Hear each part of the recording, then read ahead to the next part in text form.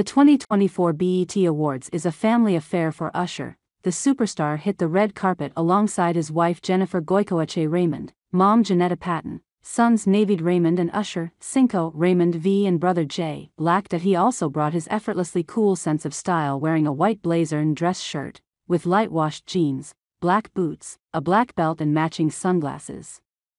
The Grammy winner topped off his look with a dazzling vintage 18K yellow gold Piaget watch with a paved diamond dial from the 1970s, sourced by Analog Shift, home to one of the world's largest collections of vintage and pre owned timepieces. His family also matched, with Patton wearing a chic all white suit and Jennifer in a black midi dress with gold buttons.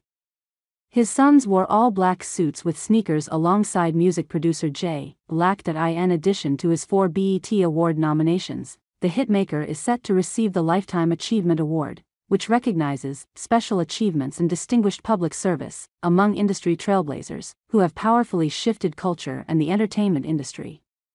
The accolade will only further pad out his respectable collection of five BET prizes, the most recent of which was a tie with star and former collaborator Chris Brown for Best Male R&B slash Pop Artist at the 2023 ceremony. In a public outing earlier this month, Usher similarly packed the style, showing off a fashion forward maroon suit on the carpet at the Apollo Theater Spring Benefit with his wife, where he was honored with the Icon Award.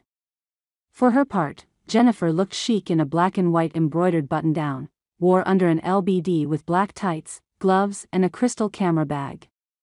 The pair wed in a small Las Vegas ceremony shortly after his Super Bowl halftime performance in February. Usher and Jennifer share daughter Sovereign Bo, 3, and son Sire Castrello, 2.